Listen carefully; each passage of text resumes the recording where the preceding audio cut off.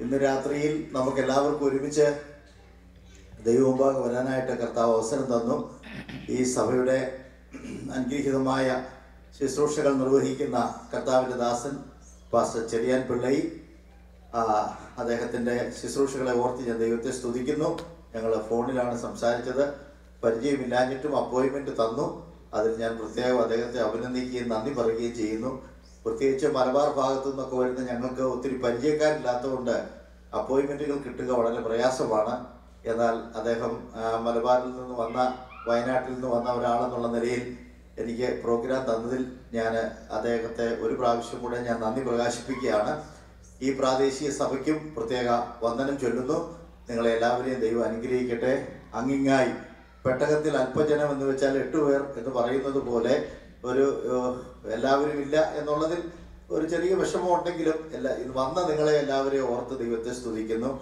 വരാത്തവരുടെ കാര്യമെല്ലാം കൂടെ വന്നവരോട് പറഞ്ഞ് അവരെ വിഷമിപ്പിക്കുന്നത് തെറ്റായതുകൊണ്ട് ഞാൻ അങ്ങനൊന്നും പറയാറില്ല. സാധാരണ നിങ്ങളെല്ലാവരെയും ദൈവം അനുഗ്രഹിക്കട്ടെ. ജോലിയൊക്കെ കഴിഞ്ഞ് ആകെപ്പാടെ കിട്ടുന്ന ഒരു ശനിയാഴ്ച ഒത്തിരി കാര്യങ്ങൾ ചെയ്യാൻ വേണ്ടി ഓടി നടക്കുന്ന നമ്മുടെ പാവ സഹോദരങ്ങളെ ഓർത്ത് നമുക്ക് പ്രാർത്ഥിക്കാം. ദൈവം അവരെല്ലാം ധാരാളമായി അനുഗ്രഹിക്കട്ടെ. അതുപോലെ ഈ സഭയിലുള്ള ഓരോ സഹോദരങ്ങളെ ഓർത്ത് ദൈവത്തെ സ്തുതിക്കുന്നു. അതുപോലെ പ്രിയപ്പെട്ട കർത്താവിന്റെ ദാസൻ ജോൺ ഐസക് പാസ്റ്റർ ഓർത്ത് ദൈവത്തെ സ്തുതിക്കുന്നു.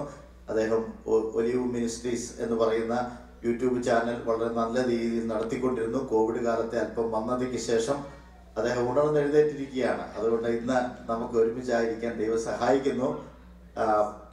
നമുക്ക് ഇങ്ങനെയുള്ള കാര്യങ്ങൾ ദൃശ്യമാധ്യമങ്ങളൊക്കെ ഇത് സൂക്ഷിച്ചു വെക്കുന്നത് നമുക്ക് ഒരു ഒരു രേഖയാണെന്ന് സൂക്ഷിച്ച് ഇരിക്കുന്നത് നല്ലതാണ്. പുസ്തകങ്ങൾ പോലെ തന്നെ യൂട്യൂബുകളും പ്രയോജനം ചെയ്യും. ആ ശുശ്രൂഷ ചെയ്യുന്ന അദ്ദേഹത്തെ ദൈവം ധാരാളമായിട്ട് അനുഗ്രഹിക്കട്ടെ. ഇന്ന് അദ്ദേഹത്തിന്റെ വീട്ടിൽ വെച്ച് ഒരു ഇന്റർവ്യൂ ചെയ്യാമെന്ന് പറഞ്ഞിരുന്നു. പക്ഷേ എനിക്കൊരു റൈഡ് കിട്ടാത്തതുകൊണ്ട് അദ്ദേഹത്തിന്റെ വീട്ടിലേക്ക് പേർലാൻഡിൽ നിന്ന് പോകാൻ കഴിഞ്ഞില്ല. മല മല ഇങ്ങോട്ട് വന്നില്ലെങ്കിൽ മലയുടെ അടുത്തേക്ക് പോവുക എന്ന് പറഞ്ഞ പോലെ പാവം ഈ സാധനങ്ങളൊക്കെ ആയിട്ട് ഇവിടെ വന്നു. അതിൽ ഒത്തിരി സന്തോഷമുണ്ട്.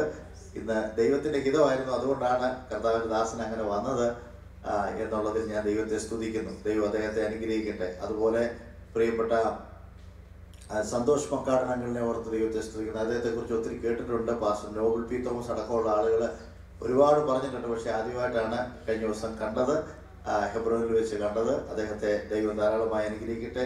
എന്നെ ഇങ്ങോട്ട് കൊണ്ടുവന്നത് ഡോക്ടർ സാം തോമസ് ഫിലിപ്പാണ്. അദ്ദേഹത്തിന് പ്രത്യേക നന്ദി അറിയിക്കുന്നു. അദ്ദേഹം വളരെ വർഷിപ്പ് ലീഡറാണ് ഞങ്ങൾ ഹെബ്രോനിലെ മീറ്റിംഗിൽ വെച്ച് കണ്ടിരുന്നു. ദൈവം അദ്ദേഹത്തെ ധാരാളമായിട്ട് അനുഗ്രഹിക്കട്ടെ എന്ന് പ്രത്യേകമായി പ്രാർത്ഥിക്കുന്നു. അതുപോലെ കർത്താവിന്റെ ദാസൻ പാസ്റ്റർ ശശി ജോസഫ് നമ്മുടെ മധ്യത്തിലുണ്ട്. അദ്ദേഹം ചില ദിവസങ്ങളായി നിങ്ങളോടുകൂടെ പല കൂട്ടായ്മകളിലും സംബന്ധിക്കുന്നു. അദ്ദേഹം ഞങ്ങൾ മലബാർ പ്രവർത്തിക്കുന്ന ദൈവദാസനാണ്. അദ്ദേഹം ഒത്തിരി വേദനകളിലൂടെയും വിഷമങ്ങളിലൂടെയും ഒക്കെ കടന്നുപോയ സമയങ്ങളിൽ അദ്ദേഹത്തിന്റെ അടുക്കൽ പോകാനും ഞങ്ങൾക്ക് ഒരുമിച്ച് പല നിലകളിലായിരിക്കാനും ദൈവം അവസരം തന്നു. എന്റെ അമ്മ ഒരുപാട് കാലം ശശിപാസ സഭയിലെ അംഗമായിരുന്നു. പിന്നീടാണ് വയനാട്ടിലേക്ക് അമ്മ വന്നത് ഞങ്ങളുടെ കൂടെ വന്നത്. എന്റെ അമ്മയ്ക്ക് വേണ്ട ആത്മീക പരിപോഷണങ്ങളൊക്കെ കൊടുക്കുന്നതിലും അതുപോലെ തലേ ദിവസമൊക്കെ വന്ന അമ്മ പാസ്റ്റർ കൂടെ താമസിച്ച് സഭായം കൂടി വീട്ടിലേക്ക് പോകുന്ന പതിവുണ്ടായിരുന്നു. ഒരമ്മയെ പോലെ തന്നെ പാസ്റ്റർ എന്റെ അമ്മയെ സ്നേഹിച്ചു. അതിൽ ഞാൻ പ്രത്യേക പാസ്റ്ററെ അഭിനന്ദിക്കുകയും നന്ദി പറയുകയും ചെയ്തു. നല്ല കരുണയും ആർ ആർദ്രതയും ആത്മദാഹവും ഉള്ള ഒരു ദൈവദാസനാണ് പാസ്റ്റർ ശശി ജോസഫ് എന്ന് പറയുന്നതിൽ എനിക്ക് ഒത്തിരി സന്തോഷമുണ്ട്.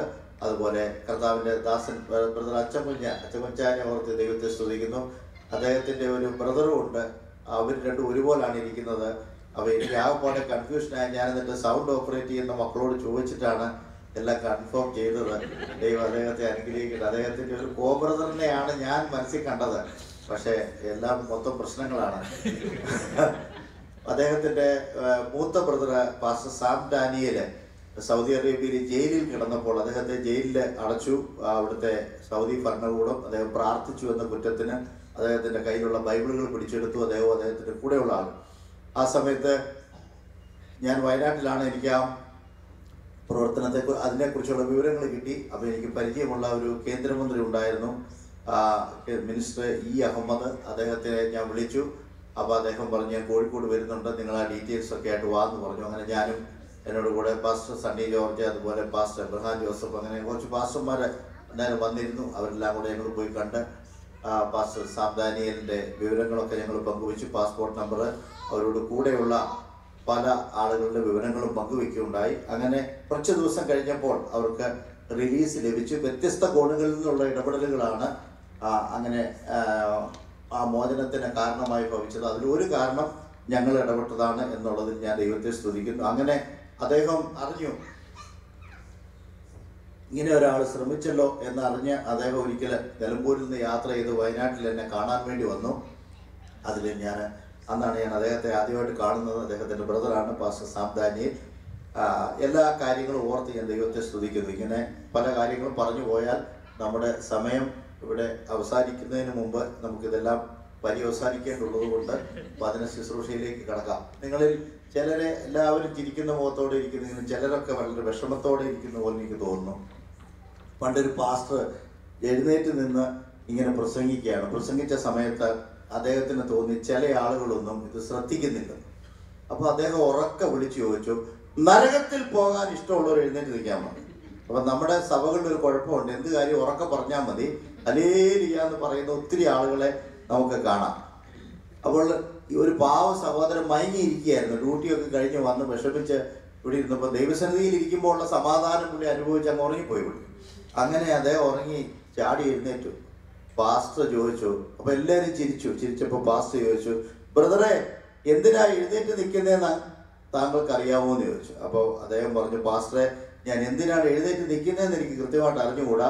പക്ഷെ ആ കാര്യത്തിന് വേണ്ടി നമ്മൾ രണ്ടുപേരും ഞാനും പാസ്റ്ററും മാത്രം എഴുന്നേറ്റ് നിൽക്കുന്നുള്ളതെന്നറിയാം പ്രൈസ്തലോ അതുകൊണ്ട് ഇന്ന് യോഗം കഴിയാതെ ആരും എഴുന്നേക്കരുത് എന്ന് മാത്രം പറഞ്ഞുകൊണ്ട് ഞാൻ ഈ വചന ശുശ്രൂഷയിലേക്ക് കടക്കാൻ ആഗ്രഹിക്കുകയാണ്.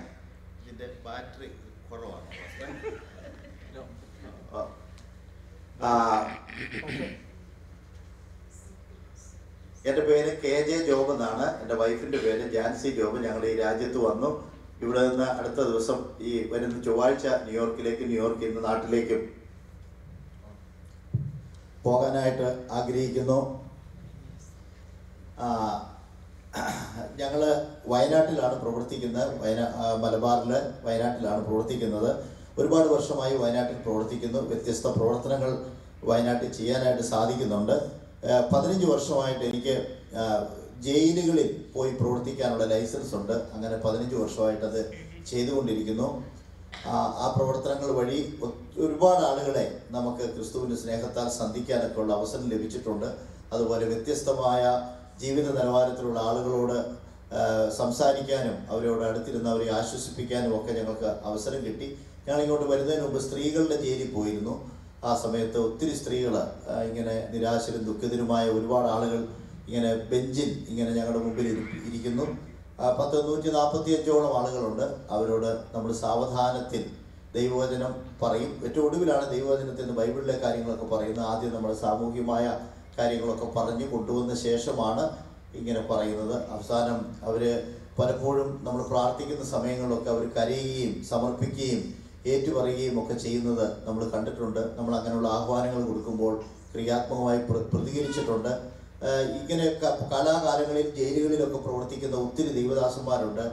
അവരുടെയൊക്കെ പ്രവർത്തനത്തിന്റെ ഫലമായി ഒരുപാട് ആളുകൾ ജയിലുകളിൽ ഒത്തിരി ദൈവദാസന്മാർ ഒരുമിച്ചാണ് ശ്രമിക്കുന്നത്. വ്യത്യസ്ത ജയിലുകളിൽ എല്ലാവർക്കും ഓടിയെത്താൻ കഴിയില്ല. അതുകൊണ്ട് ലൈസൻസ് ഉള്ള കുറേ പേരുണ്ട്. അവരെല്ലാം വ്യത്യസ്തമായ സമയങ്ങളിൽ ഓരോ ജയിലുകൾ സന്ദർശിച്ച് ദൈവവചനം അറിയിച്ചതിന്റെ ഫലമായി ജയിലുകളിൽ നിന്ന് കർത്താവിന്റെ വേലയ്ക്ക് വേണ്ടി ഇറങ്ങിയ ഒത്തിരി ആളുകളുണ്ട്. ജയിലിൽ നിന്ന് സ്നേഹ സന്ദേശവുമായി എന്നൊക്കെ പറഞ്ഞുള്ള പ്രോഗ്രാമുകളൊക്കെ നിങ്ങൾ ശ്രദ്ധിച്ചിട്ടുണ്ടാവും. ഒത്തിരി ആളുകൾ രൂപാന്തരത്തിന്റെ പാതയിൽ എത്തിയിട്ടുണ്ട്. അത് ഒരാൾ മാത്രം പ്രവർത്തിച്ചുകൊണ്ടല്ല ഒരുപാട് ദൈവദാസന്മാർ പ്രവർത്തിച്ചതിന്റെ ഫലമായിട്ട് അങ്ങനെ സംഭവിച്ചിട്ടുണ്ട്.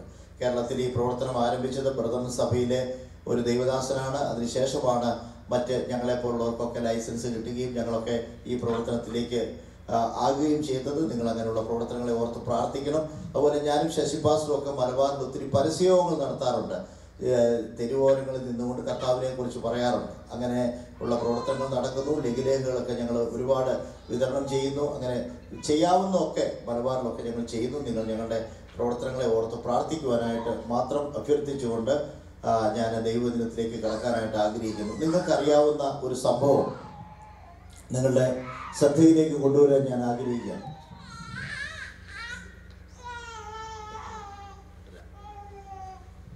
ആ, നമുക്കറിയാവുന്ന ഒരു കാര്യമാണ് ഒരു വലിയ ഉണർവ് ന് വേണ്ടി നമ്മൾ കാത്തിരിക്കുന്നുണ്ട്. ഒരു ഉണർവ് യഥാർത്ഥത്തിൽ സംഭവിച്ചാൽ ഇന്ന് നമ്മുടെ ആത്മീയ കോളത്തിൽ കാണുന്ന ഈ ലോകത്തിൽ കാണുന്ന എല്ലാ പ്രശ്നങ്ങൾക്കും പരിഹാരം ഉണ്ടാവും. ദൈവത്തിൽ നിന്ന് പുറപ്പെടുന്ന ഒരു വലിയ ഉണർവിന് നമ്മൾ ഏവരും സാക്ഷ്യം വഹിക്കേണ്ട ഒരു കാലത്തിലേക്ക് നമ്മൾ എത്തിയിരിക്കുക ഞാൻ ഒരു സംഭവം മാത്രം പറഞ്ഞുകൊണ്ട് ഞാൻ ഉദ്ദേശിച്ച വചനത്തിലേക്ക് കടക്കാം. നിങ്ങൾക്കറിയാമായിരിക്കാം വെയിൽസ് എന്ന് പറഞ്ഞ സ്ഥലത്ത് ഉണർവ് നടന്ന സംഭവം. അത് ആയിരത്തി തൊള്ളായിരത്തി അഞ്ച് നാല് അഞ്ച് കാലഘട്ടങ്ങളിൽ പതിനൊന്ന് മാസം നീണ്ടു നിന്ന ഒരു സംഭവമാണ്.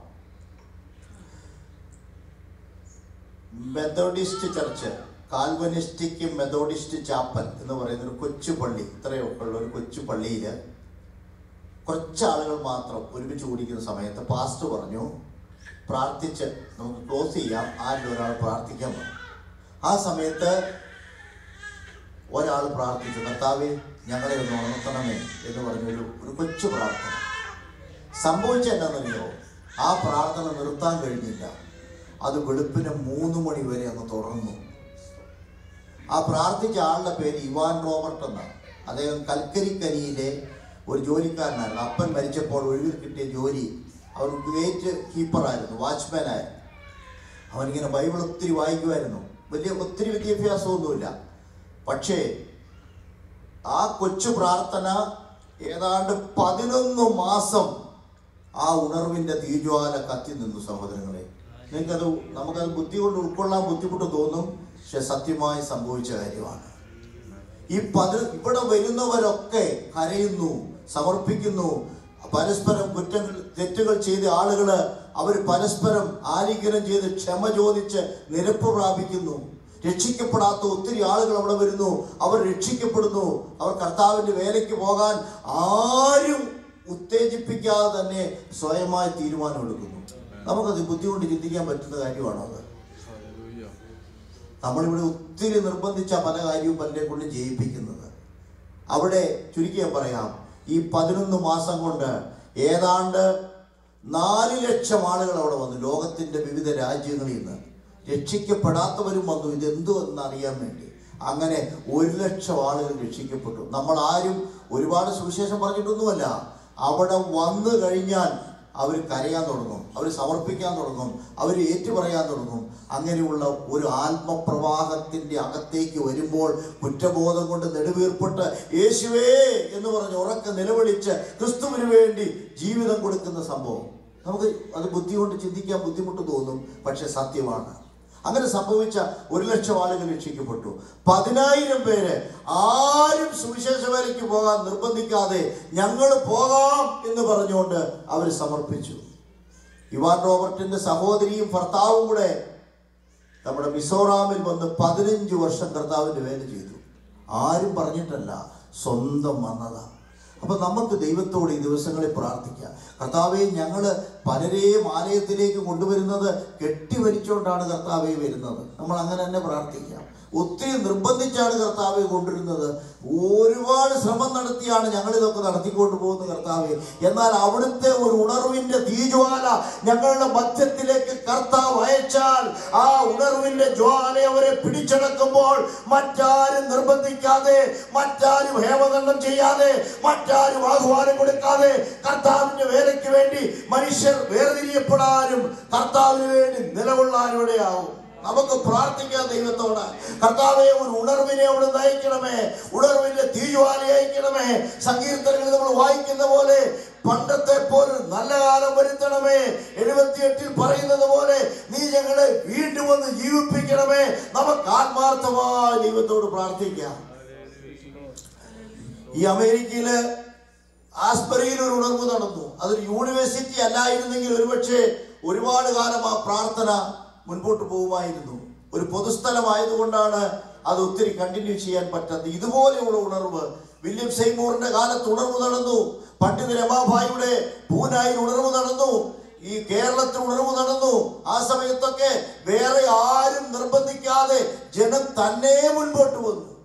ഒരു തെറ്റും ആരും ആർക്കും ബോധ്യപ്പെടുത്തി കൊടുക്കാതെ ദൈവമുമ്പാകെ സമർപ്പിക്കുന്ന ഒരു സമർപ്പണത്തിന്റെ സമർപ്പണത്തിന്റെ അവസ്ഥയാണ് ഈ ഉണർവിന്റെ പ്രതിഫലനം എന്ന് പറയുന്നത്. അവിടെ നമുക്ക് ദിവസ ദൈവത്തോട് ദിവസങ്ങളിൽ പ്രാർത്ഥിക്കാം. കർത്താവെ ഒരു ഉണർവ് ദൈവം അയക്കണമേ. ശക്തമായ ഒരു ഉണർവ് ഞങ്ങളുടെ മധ്യത്തിൽ അയക്കണമേ. ലോകരാജ്യങ്ങളെ തുടത്തക്ക വിധത്തിലൊരു ഉണർവ് ദൈവം അയക്കണമേ എന്ന് നമുക്ക് എല്ലാവർക്കും ആത്മാർത്ഥമായിട്ട് പ്രാർത്ഥിക്കാം. നമുക്ക് കാര്യങ്ങൾ ഒരു കർത്താവിന് സ്തോത്രം ചെയ്യാം. ഹല്ലേലൂയ.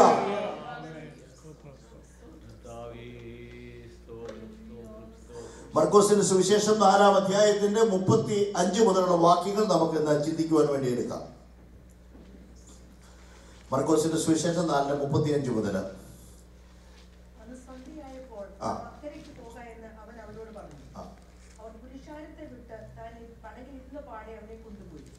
മറ്റ് ചെറു പടകുകളും കൂടെ ഉണ്ടായിരുന്നു. അപ്പോൾ വലിയ ചുഴലിക്കാറ്റുണ്ടായി. പടക് തിര തള്ളിക്കയറുകൊണ്ട് അത് മതി. ഇവിടെ ഇനി ഇവിടെ ശ്രദ്ധിച്ചോ? സാധാരണ നമുക്ക് ആളുകൾ പ്രസംഗിച്ചുകൊണ്ടിരിക്കുമ്പോൾ ഒരു ഭാഗം എടുത്തു കൊടുത്താൽ പിന്നെ അതിന്റെ താഴെയുള്ള മുകളിലുള്ള ഒക്കെ വായിക്കുന്ന ഒത്തിരി പേരെ നമുക്ക് സഭകളിൽ കാണാം. പക്ഷെ അങ്ങനെ നിങ്ങൾ ചെയ്യരുത്. ഒത്തിരി കഷ്ടപ്പെട്ടായിരിക്കും ഈ പ്രസംഗിക്കുന്ന ആളുകൾ പാസ്റ്റർമാരൊക്കെ ലോക്കൽ പാസ്റ്ററൊക്കെ ചെറിയാമ്പള്ള പാസ്റ്ററൊക്കെ ഒരുപാട് മണിക്കൂർ ജോണേശക് പാസ്റ്ററും ഒക്കെ പ്രസംഗിക്കുന്ന സമയത്ത് ഒത്തിരി മണിക്കൂർ ദൈവസന്ധി ചെലവഴിച്ചിട്ടാണ് ഒരു സന്ദേശം ഉണ്ടാകുന്നത്. അപ്പോൾ അത് എല്ലാവരും കേൾക്കണമെന്ന് എല്ലാവർക്കും ആഗ്രഹമുണ്ട്. അതുകൊണ്ട് ഇനി ആരും പുസ്തകം വായിച്ചുകൊണ്ടിരിക്കരുത്. നമുക്ക് എല്ലാവർക്കും അറിയാവുന്ന ഭേദഭാവമാണ് ഇനി ആരും പുസ്തകത്തിൽ നോക്കണ്ട. യേശുക്രിസ്തുവിന്റെ പരസ്യജീവിത കാലം എന്ന് പറഞ്ഞാൽ ഒരു യഹൂദൻ ശുശ്രൂഷ പൊതു ശുശ്രൂഷ ആരംഭിക്കുന്ന മുപ്പതാം വയസ്സിൽ യേശു ശുശ്രൂഷ ആരംഭിച്ചു. ലേവായ പൗരോഹിത്യത്തിൽ മുപ്പതാം വയസ്സിൽ തുടങ്ങുന്ന ശുശ്രൂഷ ആരംഭിക്കുന്നതായിട്ടൊക്കെ നമുക്ക് കാണാൻ സാധിക്കും. ഇവിടെ യേശുക്രിസ്തു മുപ്പതാം വയസ്സിൽ ശുശ്രൂഷ ആരംഭിച്ചു. മുപ്പത്തിമൂന്നര വയസ്സ് വരെയുള്ള തന്റെ ജീവിതം എന്ന് പറയുന്നത് വളരെ സംഭവബഹുലമായ ജീവിതമായിരുന്നു. കാരണം പിതാവായ ദൈവം തന്നെ ഏൽപ്പിച്ച ഒത്തിരി ദൗത്യങ്ങളുണ്ട്. അത് വേഗം വേഗം വേഗം വേഗം വേഗം വേഗം ചെയ്തു തീർത്ത് കർത്താവിന് ആ ദൗത്യം നിർവഹിച്ചു പോകേണ്ടതുണ്ട്. നാം ഓർക്കുക യേശുക്രിസ്തുവിന്റെ അതുപോലെയുള്ള തിരക്ക് പിടിച്ച അപ്പൊ രാവിലെ തുടങ്ങും ശുശ്രൂഷ. രാവിലെ തുടങ്ങുന്നത് സന്ധ്യ വരെ നീളും. സന്ധ്യയ്ക്ക് എവിടെയെങ്കിലും പ്രാർത്ഥിക്കാൻ പോകും. അല്ലെങ്കിൽ ശിഷ്യന്മാർ വിശ്രമിക്കും. ഇങ്ങനെയൊക്കെ അവരുടെ ദിനചര്യ ചര്യകളിൽ നമുക്ക് വേദപുസ്തകം വായിക്കുമ്പോൾ കാണാൻ കഴിയുന്നത്. പക്ഷെ അന്ന് ഗലീല തടാകത്തിന്റെ ഗലീല കടലല്ല സി ഓഫ് ഗലീലി എന്നൊക്കെ പറയാറുണ്ട്. പക്ഷെ ഗലീലി ഒരു പന്ത്രണ്ട് കിലോമീറ്റർ മാത്രം വിസ്തൃതിയുള്ള ഒരു കൊച്ചു തടാകമാണ്. അതിന് കിന്നരോത്ത് തടാകം കെന്നേസരത്ത് തടാകം എന്നൊക്കെ പേരുണ്ട് അതിന്. തിബേരിയാസ് കടൽ എന്നൊക്കെ പറയുന്നത് ഇതെല്ലാം ഒന്ന് തന്നെയാ. ഈ പന്ത്രണ്ട് കിലോമീറ്റർ വിസ്തൃതിയുള്ള ഈ കൊച്ചു തടാകത്തിന്റെ തീരത്ത് യേശു ഇങ്ങനെ പറഞ്ഞുകൊണ്ടിരുന്നപ്പോൾ പഠിപ്പിച്ചുകൊണ്ടിരുന്നപ്പോൾ ഉപമകൾ പറഞ്ഞുകൊണ്ടിരുന്നപ്പോൾ വിശദീകരണങ്ങൾ കൊടുത്തുകൊണ്ടിരുന്നപ്പോൾ പ്രബോധനങ്ങളിൽ ഒരുപാട് ആളുകൾ മുൻപോട്ട് വന്നുകൊണ്ടിരുന്നപ്പോൾ രോഗികളെ സൗഖ്യമാക്കിക്കൊണ്ടിരുന്നപ്പോൾ എന്ന് പറഞ്ഞാൽ രാവിലെ മുതൽ കർത്താവായ യേശു വളരെ വളരെ വളരെ തിരക്കിലായിരുന്നു. ആ തിരക്ക് പിടിച്ച ഓട്ടത്തിനടക്ക് സന്ധ്യ ആയപ്പോൾ കർത്താവ് പറഞ്ഞു നമുക്ക് തടാകത്തിന്റെ അക്കരയ്ക്ക് പോകാമെന്ന് പറഞ്ഞു. എന്റെ ചോദ്യം ഇത്രയാണ്. എന്റെ സഹോദരങ്ങളെ എല്ലാം കൊണ്ടും നല്ലത് യേശുക്രിസ്തുവിന് രാവിലെ പോകുന്നതാണ്. കാരണം ക്ഷീണിച്ച ശരീരമുള്ള കർത്താവ് ശിഷ്യന്മാർ ക്ഷീണിച്ചവർ എല്ലാം കൊണ്ടും നല്ലത് രാവിലെ പോകുന്ന പക്ഷെ കർത്താവ് പറഞ്ഞു നമുക്ക് അക്കരയ്ക്ക് പോകാം. എന്റെ ചോദ്യം എന്തിനാണ് യേശുക്രിസ്തു തടാകത്തിന്റെ അക്കരയ്ക്ക് അപ്പോൾ തന്നെ പോകാനായി തീരുമാനിച്ചത്? ചോദ്യം അതിന് ഉത്തരവേറ്റ ഒടുവിൽ പറയാം. അവർ അവനെ ഇരുന്നവാണെ പടകിൽ കൊണ്ടുപോയി. നമ്മൾ കാണുന്നത് മറ്റ് ചെറുപടകുകളും കൂടെ ഉണ്ടായിരുന്നു യേശുക്രിസ്തു എവിടെ പോയാലും പുറകെ പോകുന്ന ഒത്തിരി ആളുകളുണ്ട്. ഇവിടെ ചെറുപടകൾ ഉണ്ടായിരുന്നതായിട്ട് നമുക്ക് വായിക്കാൻ കഴിയും. അതിന്റെ അർത്ഥം കർത്താവ് പോകുന്നിടത്തൊക്കെ ഈ ചെറുപടകൾ ഉണ്ടായിരുന്നു. പക്ഷേ യേശു അക്കരെ എത്തിയപ്പോൾ ഇതൊന്നും ഉള്ളതായിട്ട് അവിടെ നമ്മൾ കാണുന്നില്ല. അതിന്റെ അർത്ഥം ഇടയ്ക്ക് വെച്ച് അവരൊക്കെ പുറകോട്ട് പോയി. സഹോദരങ്ങളെ നമ്മളൊക്കെ വിശ്വാസ യാത്രയ്ക്ക് വേണ്ടി ഇറങ്ങി മുൻപോട്ട് പോകുമ്പോൾ മുൻപോട്ട് പോകാനുള്ളതിനേക്കാളും അധികം കാരണങ്ങൾ പുറകോട്ട് പോകാനുണ്ടാവും. പക്ഷെ നമ്മൾ ആരും പുറകോട്ട് പോകരുത്. മനസ്സുകൊണ്ട് പോലും നമ്മൾ പുറകോട്ട് പോകരുത്. ഞാനൊരു കത്തോലിക്കലായിരുന്നു ആയിരത്തി തൊള്ളായിരത്തി എൺപത്തി ഏഴിലാണ് ഞാൻ രക്ഷിക്കപ്പെടുന്നത്. ഞാനും എന്റെ ജീവിതത്തിലേക്ക് കണ്ടുപിടിക്കുമ്പോൾ മുൻപോട്ട് പോകാനുള്ളതിനേക്കാൾ കൂടുതൽ കാരണങ്ങൾ പുറകോട്ട് പോകാനുണ്ടായിരുന്നു. നമുക്കൊക്കെ അങ്ങനെയാ. നമ്മുടെ അപ്പച്ചന്മാരൊക്കെ ഇറങ്ങിയ കാലം നമ്മൾ ഓർക്കണം.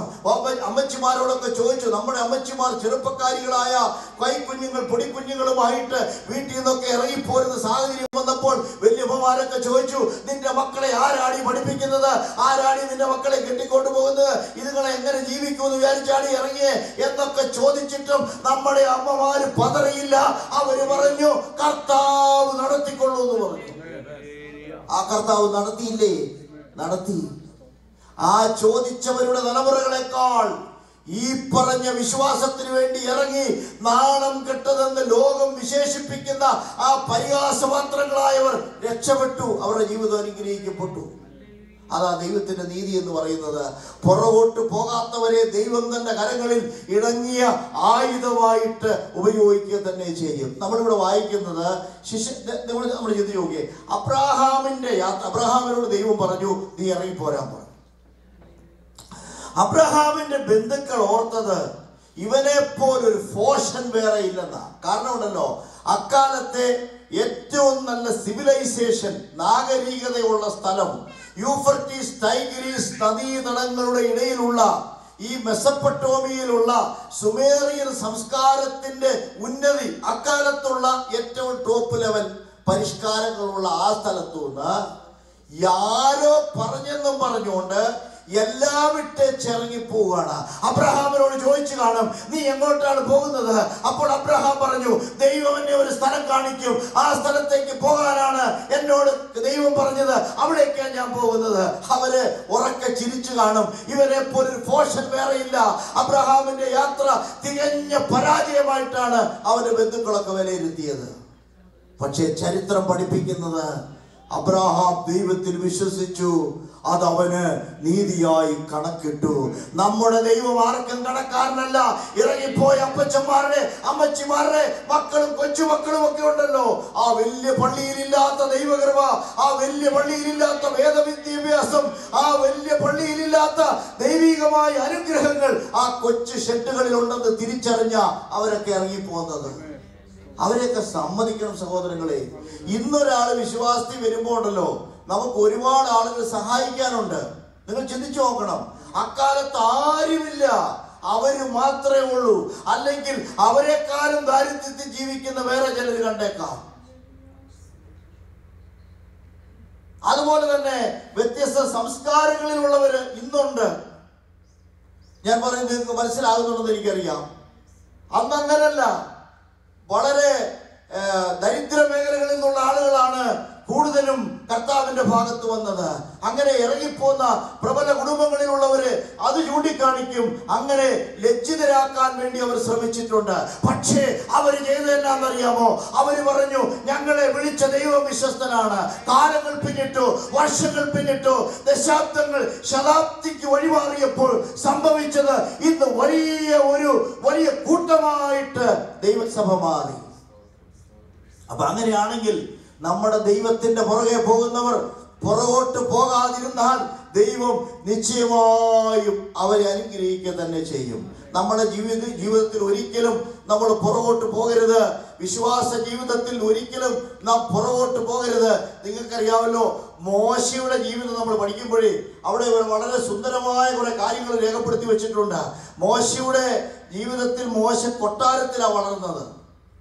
എല്ലാ സുഖവും അനുഭവിച്ച് സന്തോഷമായിട്ട് ജീവിക്കാം. അക്കാലത്തെ നാഗരികതകളിൽ ഈജിപ്ഷ്യൻ നാഗരികതയും എന്ന് പറഞ്ഞാൽ നൈൽ നദീതട സംസ്കാരം എന്ന് പറയുന്ന ആ സാംസ്കാരികതയുടെ ഒരു പൂർണതയുള്ള സ്ഥലമായിരുന്നു ഈജിപ്ത്. വിദ്യാഭ്യാസപരമായും വൈദ്യശാസ്ത്ര രംഗത്തുമൊക്കെ അക്കാലത്ത് ഉന്നതി പ്രാപിച്ച രാജ്യമായിരുന്നു. അന്ന് അയ്യായിരം കൊല്ലം മുമ്പുണ്ടാക്കിയ പിരമിഡുകളൊക്കെ ഇന്നും കേടുകൂടാതിരിക്കുന്നു. ഈ കല്ലൊക്കെ ഇങ്ങനെ മണ്ടയ്ക്ക് കയറ്റി എന്ന് ചിന്തിച്ച് ഇങ്ങനെ അന്തം വിട്ട് നിൽക്കുന്ന മലയാളി തിരിച്ചു വരുമ്പോൾ മഹാത്ഭുതം എന്ന് പറഞ്ഞ് പോരുന്ന ആ സാങ്കേതിക വിദ്യ പോലും ഉണ്ടാക്കിയ ആളുകളായിരുന്നു അവർ. അത്രേ സമ്പന്നതയുടെ നടുക്കാ മോശ ചെന്നത്. പക്ഷേ മോശയുടെ അകത്ത് ഒരു സംഭവം ഉണ്ടായിരുന്നു. എന്താണെന്നറിയാമോ? മോശയെ വളർത്തിക്കൊണ്ടുവന്ന ഒരാളുണ്ടായിരുന്നു. ആരാന്ന് നിങ്ങൾക്കറിയാം. ആരാ? മോശയുടെ അമ്മ മോശയുടെ അമ്മ കൊട്ടാരത്തിൽ മോശയുടെ പരിചാരകനായി വന്നു പരിചാരികയായി വന്നു. പക്ഷെ യഥാർത്ഥ അമ്മയായിരുന്നു. അതുകൊണ്ട് പറവാന്റെ പുത്രി കേൾക്കാതെ ഈ കൊട്ടാര ജീവനക്കാർ കേൾക്കാതെ ഈ അമ്മ ഈ കുഞ്ഞിനെ വളർത്തുമ്പോൾ അവനെ പരിചരിക്കുമ്പോൾ അവനോട് പറഞ്ഞിട്ടുണ്ടാകും ഈ ജനമല്ല മോനെ നിന്റെ ജനം. നിന്റെ ജനം സർവശക്തനായ ദൈവത്തിന്റെ ജനമായ ദോഷദേശത്ത് ദേശത്ത് പാർക്കുന്ന ആ പാവപ്പെട്ട ജനമാണ്. ഇവരുടെ ദൈവമല്ല നിന്റെ ദൈവം. നിന്റെ ദൈവം ആരാതറിയാമോ നിന്റെ ദൈവം യഹോവയാണ്. നിന്റെ ദൈവം ആരാണെന്നറിയാമോ നിന്റെ ദൈവം യാഹുവേ നിന്റെ ദൈവം ഏലോഹിയും നിന്റെ ദൈവം എൽഷലായി ഇവിടെയുള്ള നിമ്പ്രതോ കാളക്കുട്ടിയോ ഇതൊന്നും അല്ല നിന്റെ ദൈവം. നിന്റെ ദൈവം സർവശക്തനാ. ഇത് മോശയുടെ അകത്തേക്ക് കൊച്ചു പ്രായത്തിനകത്തേക്ക് കയറി കത്തി കത്തി കഴിഞ്ഞപ്പോൾ പാപത്തിന്റെ തൽക്കാല ഭോഗങ്ങൾ മോശയെ മാടി വിളിച്ചു. എബ്രാലേഖനത്തിൽ എഴുതിയിരിക്കുന്നത് പാപത്തിന്റെ തൽക്കാല ഭോഗത്തെക്കാൾ ബാക്കി പറഞ്ഞേ ദൈവജനത്തോടുകൂടെ കഷ്ടം അനുഭവിക്കുന്നത്.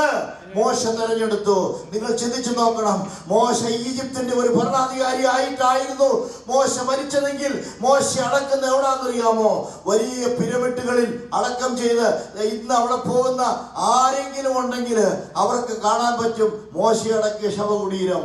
തുത്തലാമന്റെയും രമേശസ് രണ്ടാമന്റെയും ഒക്കെ ശവകുടീരങ്ങളുള്ള ഈജിപ്തിൽ വലിയ പ്രഗത്ഭമതിയായ ഭരണാധികാരിയായ യഹൂദനായ മോശയുടെ ശവകുടിയിലും കണ്ടേക്കാം.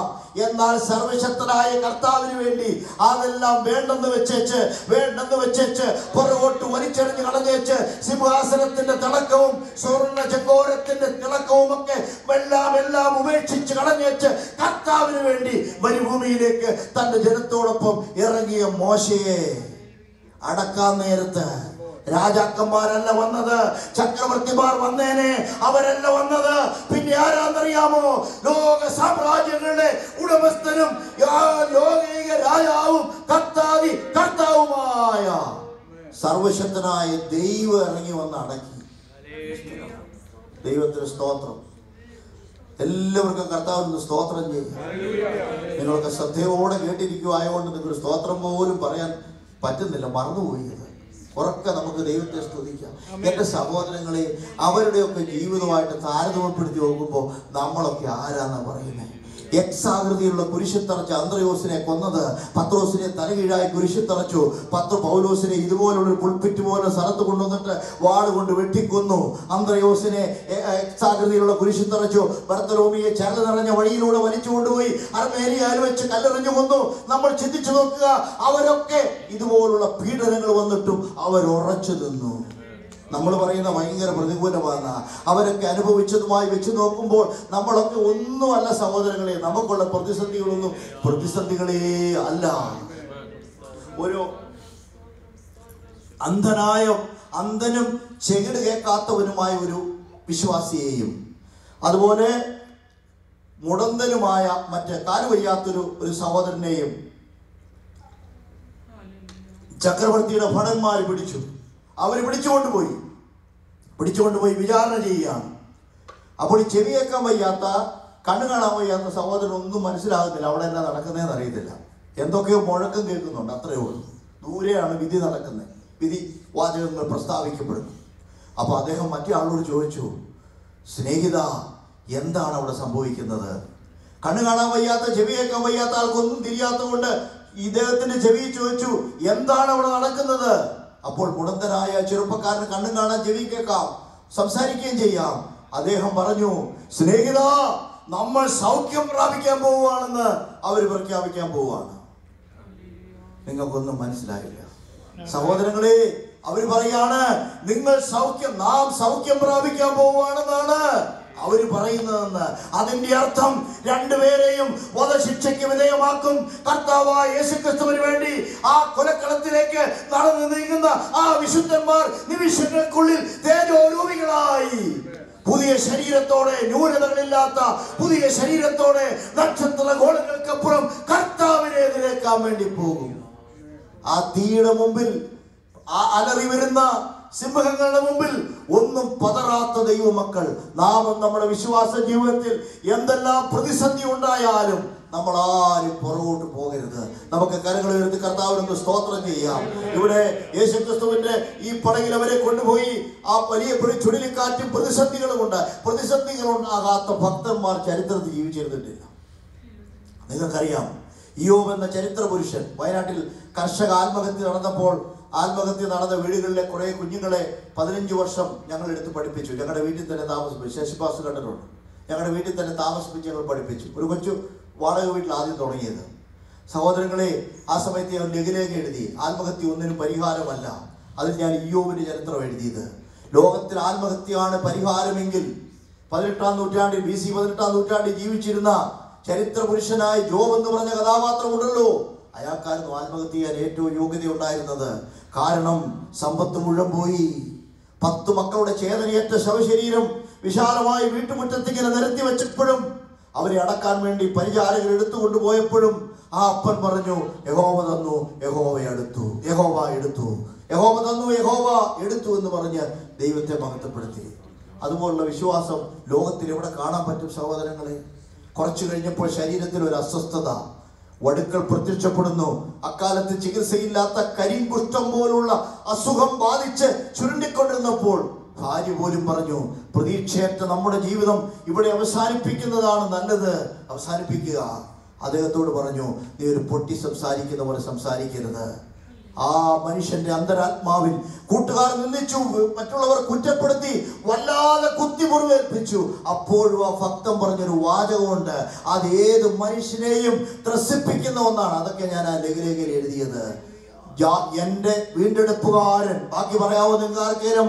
എന്റെ വീട് പറഞ്ഞു വന്ന എന്റെ വീണ്ടെടുപ്പുകാരൻ ജീവിച്ചിരിക്കുന്നെന്നും അവൻ ഒടുവിൽ ഈ പൊടിമേൽ നിൽക്കുമെന്നും ഞാൻ അറിയുന്നു. അങ്ങനെ ഞാൻ ദേഹസഹിതനായി അവനെ കാണും. അന്യന്റെ കണ്ണല്ല എന്റെ സ്വന്തം കണ്ണുകൊണ്ട് തന്നെ കാണുമെന്ന് പറഞ്ഞു. സഹോദരങ്ങളെ ഈ പ്രത്യാശ പഴയ നിയമഭക്തനായ യോവിന്റെ കാലത്ത് ഉണ്ടായത് ചിന്തിക്കണം പുതിയ നിയമ വെളിച്ചം അദ്ദേഹത്തിന് എത്ര കിട്ടിയിട്ടുണ്ട് നമുക്ക് അറിഞ്ഞുകൂടാ. ആത്മാവ് വെളിപ്പെടുത്തിയിട്ടുണ്ടാകും. പക്ഷേ ഈ വെളിച്ചം കിട്ടിയ ഭക്ത അപ്പൊ ഞാൻ പറഞ്ഞു ഇത്രേ ഉള്ളൂ. ലോകത്തിൽ ഏത് പ്രതിസന്ധി ഉണ്ടായാലും നമ്മളൊക്കെ അങ്ങനെ വ്യത്യസ്തമായ പ്രതിസന്ധികളിലൂടെ കടന്നുപോയവരാ.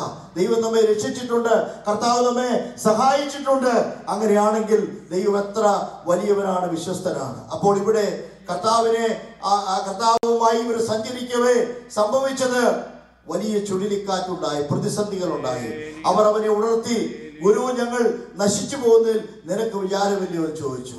യേശുക്രിസ്തു പടകിൽ ഉറങ്ങിപ്പോയി. എന്തുകൊണ്ടാ കർത്താവ് ഉറങ്ങിയതെന്ന് നമുക്ക് എല്ലാവർക്കും അറിയാം. അവൻ മനുഷ്യനായി വന്നതുകൊണ്ട്.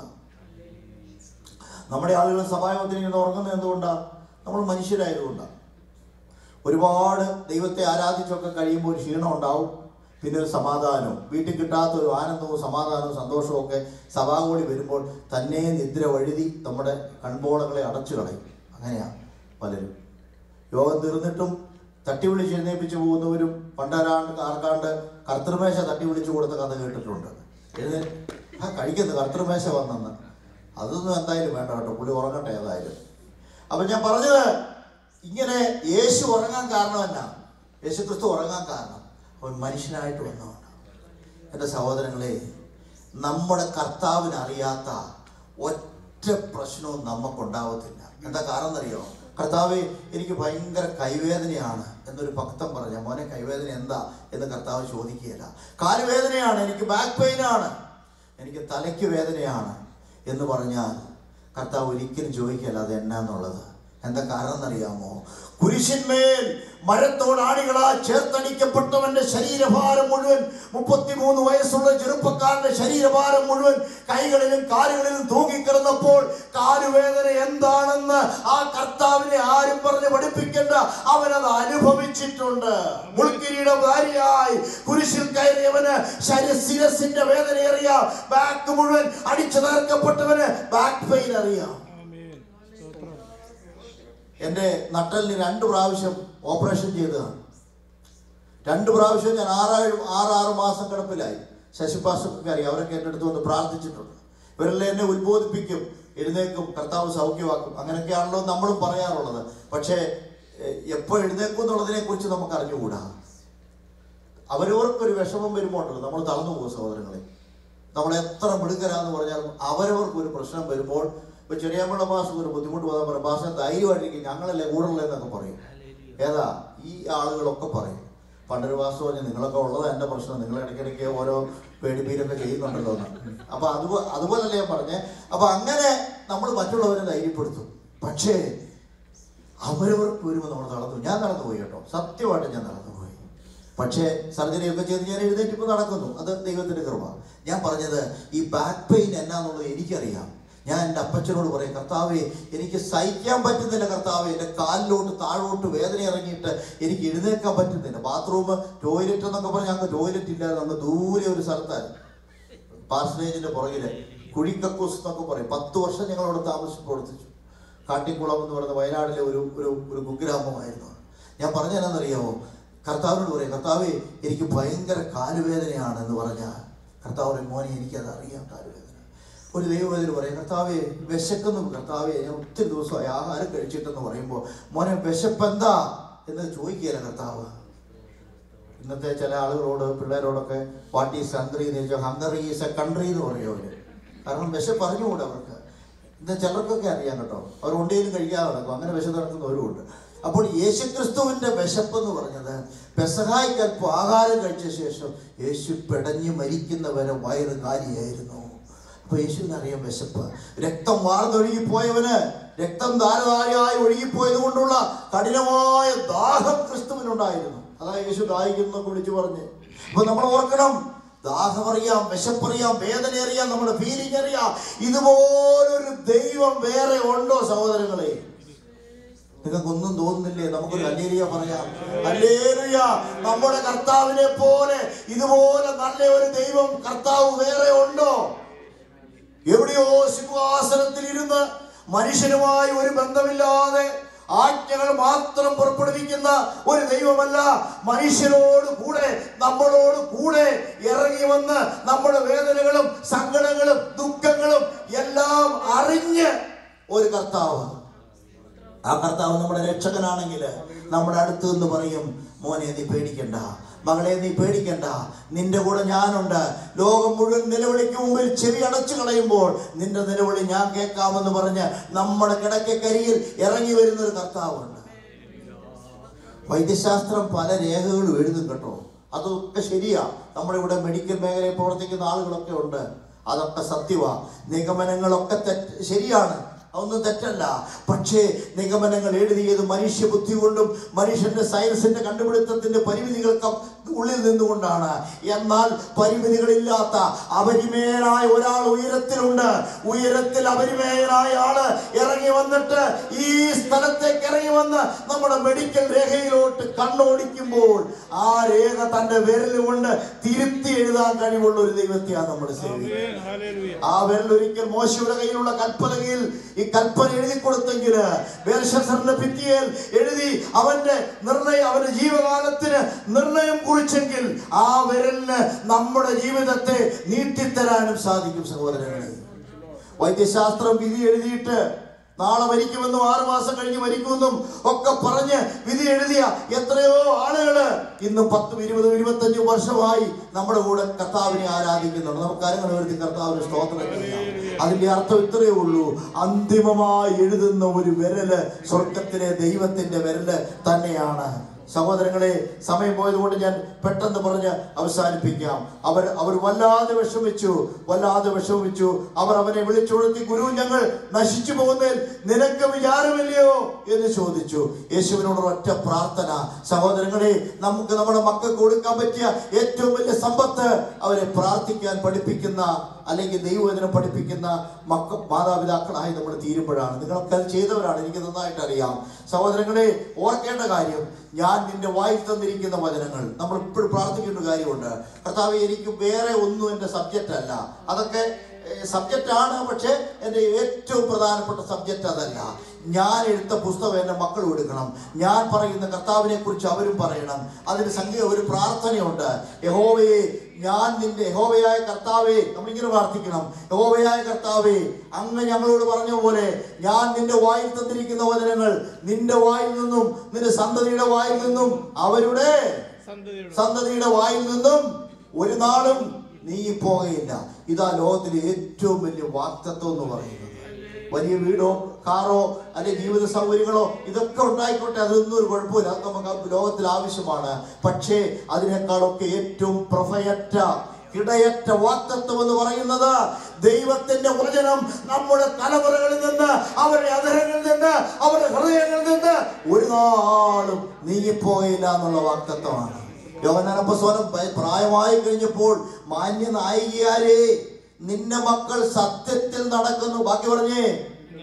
എന്നതിനേക്കാൾ സന്തോഷിക്കാൻ എന്തുണ്ടെന്നാ ചോദിച്ചത് നമ്മുടെ മക്കൾ സത്യത്തിൽ നടക്കുന്നതിൽ അവർ യേശുവിനെ വിളിച്ചുണർത്തി പറഞ്ഞു ഗുരു ഞങ്ങൾ നശിച്ചു പോകുന്നതിൽ നിനക്ക് വിചാരമില്ല. നമ്മുടെ നമുക്ക് ആരെങ്കിലുമൊക്കെ കുത്തി മുറിവേൽപ്പിക്കുകയും പലപ്പോഴും. അപ്പൊ നമ്മൾ അവരോട് ഒത്തിരി വർത്തമാനം പറയാൻ നിൽക്കാതെ ആ മുറിവിൽ നമ്മൾ ചങ്കുപൊട്ടി പ്രാർത്ഥിക്കുക ദൈവത്തോട്. ഒരു ചിന്തകം പറഞ്ഞാൽ എന്നറിയോ do not miss your sorrows നമ്മുടെ ദുഃഖങ്ങൾ ഒരിക്കലും നമ്മൾ പാഴാക്കരുത്. ആ ദുഃഖം നമ്മൾ മുതലാക്കണം. ഈ അബ്ബേസ് ആ സോറി അതെ ഈ അബ്ബേസ് നെഞ്ചുപൊട്ടി പ്രാർത്ഥിച്ച പോലെ.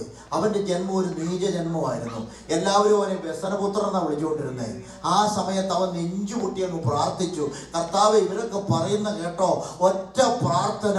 ദൈവം അവന്റെ കൈ അങ്ങോട്ട് വെച്ചു. മുമ്പ് കൈ ഉണ്ടായിരുന്നു പക്ഷെ ഭയങ്കര ഭാരമായിരുന്നു. കൈ എടുത്തേച്ച് വെച്ചപ്പോൾ ഭയങ്കര അനുഗ്രഹം. അവൻ പറഞ്ഞു കർത്താവ് അവനെ അങ്ങ് അനുഗ്രഹിക്കാൻ തുടങ്ങി. അതിന്റെ അർത്ഥം ഇത്രയേ ഉള്ളൂ. നെഞ്ചു പൊട്ടി നമ്മൾ പ്രാർത്ഥിച്ചാ ഉണ്ടല്ലോ. മറ്റുള്ളവർ കുത്തി കുത്തി പറയുമ്പോൾ നെഞ്ചു പൊട്ടി പ്രാർത്ഥിച്ചാ ഉണ്ടല്ലോ. ജീവിതം മാറ്റുന്ന ഒരാളാ ഉയരത്തിലുള്ളത്. അന്നയുടെ പെനീനയുടെ ചരിത്രം നമുക്കറിയാം. ശമുവേലിന് ജന്മം കൊടുക്കാൻ കാരണമായി ഭവിച്ചത് ആ നിന്നയാണെന്നുള്ളത് ആർക്കാ അറിഞ്ഞുകൂടാത്തത്? കുത്തി മുറിവേൽപ്പിക്കുമ്പോൾ നെഞ്ചു പൊട്ടി ഉരുകി പ്രാർത്ഥിക്കുമ്പോൾ. ദൈവം അവിടെ മധ്യത്തിൽ ഇറങ്ങി വരിക തന്നെ ചെയ്യും. സഹോദരങ്ങളെ നമ്മുടെ കർത്താവ് പ്രാർത്ഥന കേട്ട് ഇറങ്ങി വരുന്ന ദൈവമാണ്. ആ ദൈവത്തെയാണ് നമ്മൾ സേവിക്കുന്നത്. ഒരു ഒരു അമ്മച്ചി ഉണ്ടായിരുന്നു. അമ്മച്ചിയുടെ പേര് മോനിക്ക എന്നായിരുന്നു. ബിഷപ്പ് ഓഫ് ഹിപ്പോ എന്ന് ഗൂഗിളിൽ അടിച്ചാൽ നിങ്ങൾക്ക് കാണാം. അവിടെ ആ ചരിത്രം ഇങ്ങനെ തുടരുന്നു. അമ്മച്ചി വന്ന് പാസ്റ്ററോട് പറഞ്ഞു പാസ്റ്ററെ എന്റെ മോനെ വല്ലാതെ വഴിതെറ്റിപ്പോയല്ലോ. അപ്പൊ പാസ്റ്റർ അംബ്രോസ് പറഞ്ഞു മോനിക്ക നീ ഒത്തിരി കണ്ണീരൊഴുക്കിയല്ലേ? എങ്ങും പോകത്തില്ല അവൻ അവൻ പൂന്തോട്ടത്തിൽ ചെടികൾ നനച്ചുകൊണ്ടിരുന്നപ്പോൾ അവന്റെ മാർവിടത്തിലേക്ക് ഒരു ശബ്ദം വന്നു. ആ ശബ്ദം എങ്ങനെയാ? പോവുക. യോഗനാന സുവിശേഷം വായിക്കുക. അവനെ തട്ടിക്കളഞ്ഞു. രണ്ടാമതും ആ ശബ്ദം കേട്ടപ്പോൾ അവൻ പോയി യോഹന്നാൻ സുവിശേഷം വായിച്ചു. വായിച്ചപ്പോൾ സംഭവിച്ചത് അവന്റെ ജീവിതത്തിൽ രൂപാന്തരത്തിന് കാരണമായി മാറി. നിങ്ങൾക്കറിയാവുന്നതുപോലെ ബിഷപ്പ് അംബ്രോസ് ആ- വിഷപ്പായിരിക്കുമ്പോൾ അദ്ദേഹത്തിന്റെ പ്രായമായി വല്ലാതായ സമയത്ത് പുതിയതായിട്ടൊരു പാസ്റ്ററെ വേണം ആ പള്ളിയിൽ ആരാന്നറിയാമോ? ഈ അമ്മച്ചിയുടെ ഈ അമ്മച്ചിയുടെ ഈ മോനിക്ക അമ്മച്ചിയുടെ മകനായ മാനസാന്തരപ്പെട്ട ആ ചെറുപ്പക്കാരനെ ആക്കി അവിടെ. പേരാണ് സെയിന്റ് അഗസ്റ്റിൻ. ആയിരം പ്രസംഗം ഉണ്ടായിരുന്നു ആയിരം പ്രസംഗം. എനിക്കും ചെറിയ പള്ള പാസ്സൊക്കെ ഇപ്പോൾ നൂറ് പ്രസംഗം കണ്ടേക്കാൻ ചിലപ്പോൾ ഞങ്ങൾ തിരിച്ചും മറിച്ചും മറിച്ചും തിരിച്ചും പകുതി വെച്ച് ഇപ്പുറത്തോട്ടും അപ്പുറത്തോട്ടും ഒക്കെ പറയും. വിശ്വാസികളായവരെ സംബന്ധിച്ച് ഒരു പ്രത്യേകതയുണ്ട്. അവർ ഇവിടുന്ന് കേൾക്കുന്നു. ഇവിടെ തന്നെ ഡിപ്പോസിറ്റ് ചെയ്തിട്ട് പോകുന്നതുകൊണ്ട് പിന്നെ എങ്ങനെ പറഞ്ഞാലും കുറച്ച് ആരെങ്കിലും ഒരാളിക്ക് എടാ ഇത് പണ്ടങ്ങാട് പാസ്റ്റ് പറഞ്ഞു. ഓ പാസ് പറഞ്ഞു ഒന്നുമല്ല അത് പുതുതായിട്ടങ്ങാണ്ട് കൂടി പറഞ്ഞ. എന്ന് പറഞ്ഞ് അങ്ങനെയാണ് ഞങ്ങളൊക്കെ രക്ഷപ്പെടുന്നത്. പക്ഷേ ഈ അഗസ്റ്റിന്റെ പ്രത്യേകത എന്താണെന്നറിയാമോ? ആയിരം പ്രസംഗം അറിയായിരുന്നു. ആയിരം പ്രസംഗം ഉണ്ടാക്കണേലേ പതിനായിരം മണിക്കൂർ ദൈവത്തിന് മുമ്പ് ഇരിക്കണം. നിങ്ങൾ ഓർക്കരുത് ഈസിയാന്ന് പതിനായിരം മണിക്കൂർ എന്നാലേ അതുപോലെ ഒരു ഭക്തനെ രൂപപ്പെടുത്താൻ ആർക്ക് കഴിഞ്ഞതറിയോ ഒരമ്മയുടെ അടർന്നു വീഴുന്ന കണ്ണുനീർ തുരുത്തിയിലിങ്ങനെ പിടിച്ചിട്ട് മോനിക്ക നിന്റെ കണ്ണുനീർ ഒരിക്കലും പാഴാകത്തില്ലെന്ന് പറഞ്ഞ ആ ദൈവദാസന്റെ വാക്കുകൾ അതുപോലെ സംഭവിച്ചെങ്കിൽ ഇപ്പോയ്ക്ക് ഒരു വിശുദ്ധനെ ലഭിച്ചെങ്കിൽ സെയിന്റ് അഗസ്റ്റിൻ ലോകപ്രസിദ്ധനായ വിശുദ്ധനായ അദ്ദേഹത്തിന്റെ ആയിരം കൊട്ടേഷൻസുകൾ തന്നെയുണ്ട്. പ്രസിദ്ധമായ കൊട്ടേഷൻ നമ്മൾ ഓർക്കുക കണ്ണുനീരിന് മാറിക്കാൻ പറ്റാത്ത ഒന്നുമില്ല. ദൈവഗത പ്രകാരമുള്ള കാര്യത്തിനാണ് നമ്മൾ കരയുന്നതെങ്കിൽ ആ കണ്ണുനീര് കണ്ട് കർത്താവ് ഇറങ്ങി വരിക തന്നെ ചെയ്യും. അകാരണമായ കാര്യത്തിൽ കണ്ണീരൊഴുക്കിയിട്ട് ഒരു കാര്യമില്ല അത് ദൈവഗത പ്രകാരമുള്ള കണ്ണുനീരല്ല. അതുകൊണ്ട് ഒത്തിരി സംഭവങ്ങൾ ഇതിനോടുള്ള ബന്ധത്തിൽ എനിക്ക് നിങ്ങളെ ഓർപ്പിക്കുവാനുണ്ട്. പക്ഷേ സമയം പോയതുകൊണ്ട് ഞാൻ പെട്ടെന്ന് അവസാനിപ്പിക്കാം. കർത്താവ് എഴുന്നേറ്റ് കാറ്റിനെ ശാസിച്ച് കടലിനോട് പറഞ്ഞു അടങ്ങുക അനങ്ങാതിരിക്കുക. കർത്താവ് പറഞ്ഞപ്പോൾ സംഭവിക്കാൻ കാരണം എന്താണെന്നറിയാമോ? ഈ വെള്ളത്തെ ഉണ്ടാക്കിയ ശബ്ദമായിരുന്നു ഇത്. ഭൂമിയിലുള്ള വെള്ളമെല്ലാം ഒരു സ്ഥലത്ത് ഒരുമിച്ച് കൂടട്ടെ. കർത്താവ് കൽപ്പിച്ചു. കർത്താവ് കൽപ്പിച്ചപ്പോൾ വെള്ളമെല്ലാം ഒരു സ്ഥലത്ത് ഒരുമിച്ച് കൂടി. അപ്പൊ വെള്ളത്തിന് ശബ്ദം അറിയാം. ഈ വെള്ളം ഒച്ച വെച്ച് ബഹളം വെച്ചപ്പോൾ കാറ്റ് ഒച്ച വെച്ച് ബഹളം വെച്ചപ്പോൾ അടിച്ചടി അടിച്ചു വന്നപ്പോൾ കാറ്റ് പെട്ടെന്ന് പറഞ്ഞു എന്നാന്നറിയാമോ? ഈ കാറ്റ് കാതോർത്തപ്പോൾ ഈ ശബ്ദം പരിചയമുള്ളതാണ്. ആ പരിചയമുള്ള ശബ്ദത്തിന് കാതോർത്തു. വെള്ളത്തിന് കാതോർത്തപ്പോൾ മനസ്സിലായി ഇത് ഞങ്ങളെ ഉണ്ടാക്കിയ ശബ്ദമാണ്. ഞങ്ങളുടെ യജമാന്റെ ശബ്ദമാണ്. പെട്ടെന്ന് അതനുസരിച്ചു സഹോദരങ്ങളെ നമ്മുടെ കർത്താവ് കൽപ്പിച്ചാൽ കേൾക്കാത്തായിട്ടൊന്നുമില്ല നമ്മുടെ ഹാർട്ട് പ്രോബ്ലത്തിന് കർത്താവ് കൽപ്പിച്ച ചെവിയുണ്ട്. നമ്മുടെ കിഡ്നി പ്രോബ്ലത്തിന് കർത്താവ് കൽപ്പിച്ച ചെവിയുണ്ട്. നമ്മുടെ ആസ്മ പ്രോബ്ലത്തിന് കർത്താവ് കൽപ്പിച്ച ചെവിയുണ്ട്. കുരിശിൽ കിടന്നപ്പോൾ ശ്വാസം വലിക്കാൻ വിഷമിച്ചവനാ നമ്മുടെ കർത്താവ്. മുട്ടിൽ ഊന്നി നിന്ന് ശ്വാസം വലിച്ച കർത്താവിന് നമ്മുടെ ശ്വാസം മുട്ടിന്റെ പ്രയാസം അറിയാം. ആ കർത്താവ് കൽപ്പിച്ചാൽ നടക്കാത്തതായിട്ടൊന്നുമില്ല ആമേൻ. മിച്ചിഗണിലെ ഡിട്രോയിറ്റിലെ മിച്ചുകണിൽ മിച്ചുകണിലെ ഡിട്രോയിറ്റിൽ ഒരു മനുഷ്യൻ ഇങ്ങനെ കാർ ഓടിച്ചു പോകവേ. അയാളുടെ കാർ കേടായി പോയി പുറകെ വന്ന കാറിൽ ഒരാൾ വന്നു. അയാളുടെ കാറ് ലിങ്കൺ കമ്പനിയുടെ കാറാണ്. മുൻപേ പോയത് ഫോർഡ് കമ്പനിയുടെ കാറാണ്. അതാണ് കേടായി പോയത് അയാൾ ചോദിച്ചു ഇയാൾ നോക്കി കേടാ നന്നാക്കാൻ പറ്റുന്നില്ല. മഞ്ഞ് വീഴ്ചയുള്ള സമയമാണ്. ഇയാൾ വല്ലാതെ വലഞ്ഞു വിഷമിച്ചു നിന്നപ്പോൾ രണ്ടാമത്തെ ആൾ വന്ന് വണ്ടി നിർത്തി ചോദിച്ചു എന്ത് പറ്റി? എന്റെ കാർ കേടായി പോയി അയാൾ എടുത്ത് ഓണറ്റ് പൊക്കി നോക്കിയിട്ട് എവിടെയോ പിടിച്ച് തിരിച്ച ശേഷം പറഞ്ഞു സ്റ്റാർട്ട് ചെയ്യുക. സ്റ്റാർട്ട് ചെയ്തു. അപ്പോൾ ആ എഞ്ചിന് ജീവൻ വെച്ചു. അവന്റെ മനസ്സിനുമാണ് ജീവൻ. ആ ജീവൻ വെച്ചപ്പോൾ അവൻ ചോദിച്ചു സർ അങ്ങ് ആരാണ്? അദ്ദേഹം പറഞ്ഞു എന്റെ പേരാണ് ഹെൻറി ഫോർഡ്. എന്റെ പേരല്ല ആ പറഞ്ഞ ആളുടെ ഹെൻറി ഫോർഡ് എന്ന് പറഞ്ഞു ഹെൻറി ഫോർഡ് ആരാന്ന് നിങ്ങൾക്ക് അറിയാവോ ആ. ഈ ഫോർഡ് കമ്പനിയിൽ ഉണ്ടാക്കിയ ആൾ. അയാൾക്ക് അറിയ ഉണ്ടാക്കിയ ആൾക്ക് അറിയാത്ത വല്ലതും ഉണ്ടോ ഇതിനകത്ത്? അയാൾ ഈ കാർ ഓടിച്ചോണ്ട് പോകുന്നത് എന്തിനാണെന്നറിയാവോ ഇതിന്റെ ടെക്നിക്ക് പിടിച്ചെടുക്കാൻ വേണ്ടി പോയതാ.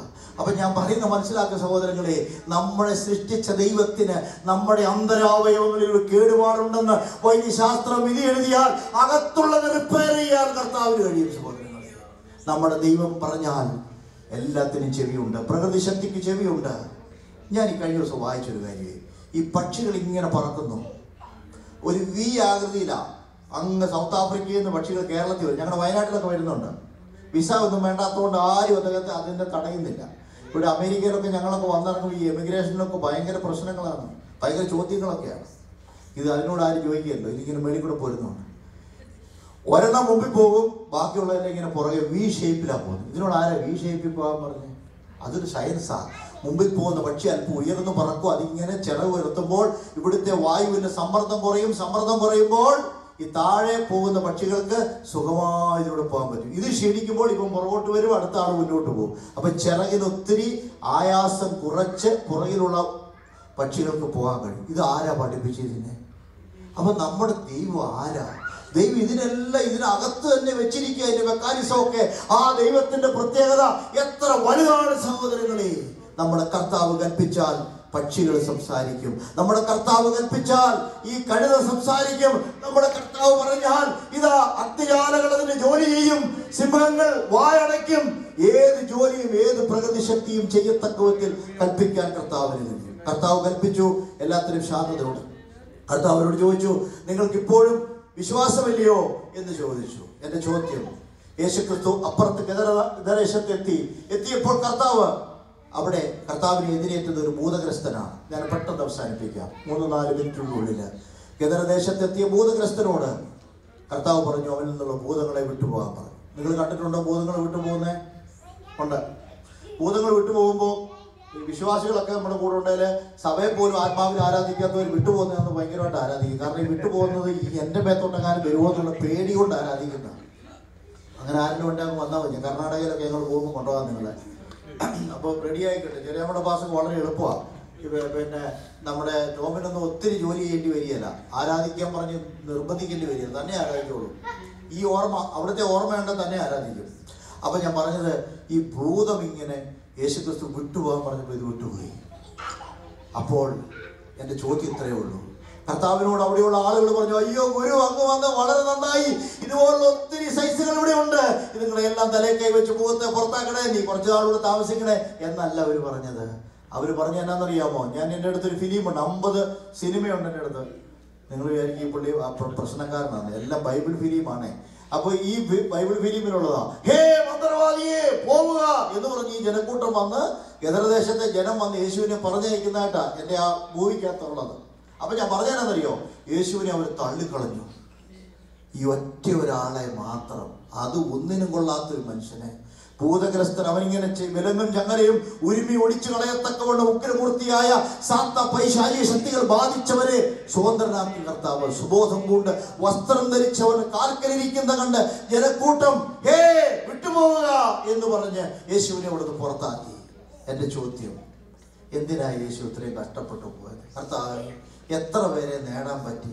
വല്ല അഡ്രസ്സുള്ള അന്തസ്സുള്ള ഒരുത്തനാണെ പിന്നെ പോട്ടെ എന്ന് വിചാരിക്കുക. ഇത് ഒരു ഗതിയും പരഗതിയും ഇല്ലാത്ത ഒരുത്തനെ തേടി എന്തിനാ കർത്താവെ പോയത്? ചോദ്യം. എന്തിനാ കർത്താവെ? അത്രയും ക്ഷീണിച്ച അങ്ങ് അക്കരെ പോയത് എന്തിനാ? യേശു പറയും ഒരു മനുഷ്യന്റെ ആത്മാവ് മുഴുലോകത്തെക്കാളും വിലയുണ്ട്. അതുകൊണ്ടാണ് കർത്താവ് പോയത്. നമ്മുടെ മനോഭാവം അതായിരിക്കണം സഹോദരങ്ങളെ. ഒരു ആത്മാവിന്റെ വില മുഴുലോകത്തെക്കാളും വലുതാണ്. ആരും കരുണ കാണിക്കാത്ത ഒരു ഭ്രാന്തനോട് കർത്താവ് കരുണ കാണിച്ചു. യോഗിച്ചോ രക്ഷിക്കപ്പെടാൻ കാരണം എന്നതറിയാവോ ഇപ്പോൾ ഞാൻ പറഞ്ഞ സംഭവമാണ് ആരോ എറിഞ്ഞു കൊടു ആരോ കൊടുത്ത ബൈബിൾ എറിഞ്ഞു മൂലക്കിട്ടവൻ